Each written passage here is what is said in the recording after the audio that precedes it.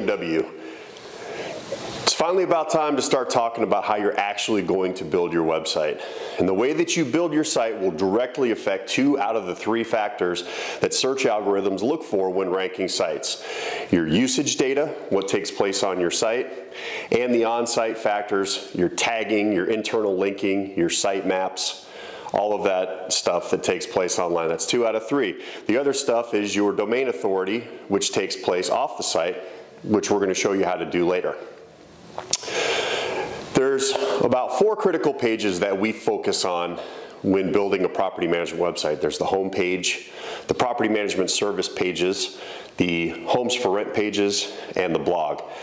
Today I'm going to tell you exactly how to build your home page. And there's a lot of confusion out there. And I see a lot of property management companies try to pack everything they do on the, on the front page. We don't think that's the best way to do it. Your home page should exactly match the branding of your offline company.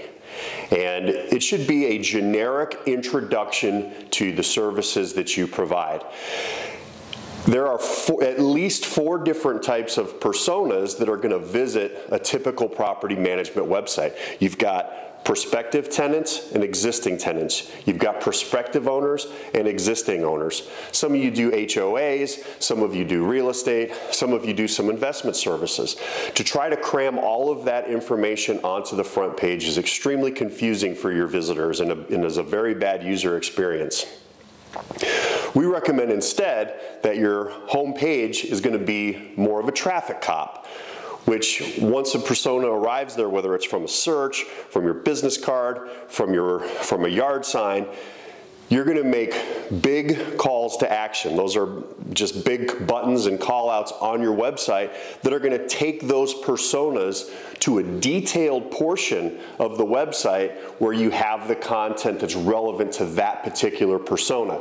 Your prospective tenants really don't care about your management services, and owners looking to hire you may not really care about your home rental inventory. So it's important for your home page to be a good introduction for what you do, but also a traffic cop to get your different personas to the content that they want. Typical calls to action you're going to see on your on your home page are going to be uh, buttons to your management services pages, your properties for rent section, your owner portals, your tenant portals, any other major portion of your business that you do is going to be called out on your front page.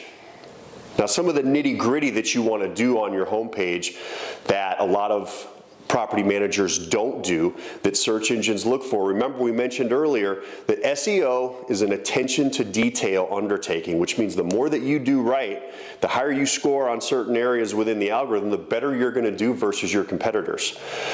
Every front page needs to have a sitemap, both XML and HTML. This is how you tell the search engines exactly the new, exactly what page and what pages exist on your website. Every time one gets created, that sitemap should automatically be updated and submitted to the search engine so that they can come in and look at that new page. You want to have blog snippets. We're going to talk more about this later. We don't want the blog to be on the front page, but we want you to call out your blog on the front page. We also want you to put a, a paragraph or a few sentences introducing your most recent post with a link to the blog post on, in your website. We'll get to that later as well. We want you to internally link all your important pages, preferably with anchor text. Anchor text is just a term in the link that links it to the appropriate page. Helps a little bit with search. We want you to have original, properly tagged photos. And if, if possible, we want you to have a company video. This video should be a professional, as professional of a video as possible. It should talk about what your business does. And if possible, you should have one of your, one of your customers in there talking about how important your services are. Finally, the actual tagging, the title tagging, the description tagging, all those meta tags. Uh, for tagging again, it should be generic like the home page. It should just briefly tell what your company does. Property management and property managers in Denver as an example, houses and homes for rent in Denver, and then your company name. That's it. Don't get too detailed on that. Your meta description should have your search terms within it, but should be creative and exciting. Your meta description is what's going to appear in your search result when someone does a search and finds your company.